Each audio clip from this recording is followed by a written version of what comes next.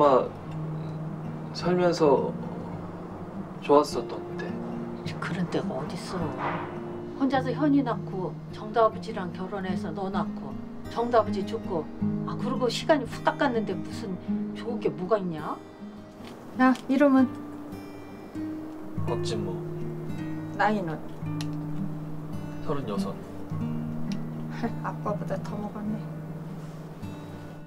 네가 아빠 양복 입고 의자에 앉아 있는 거 보니까 네 아빠한테 좀 고맙더라.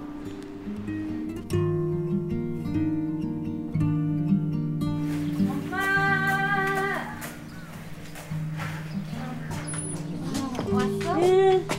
아이고 내 집기 왔어.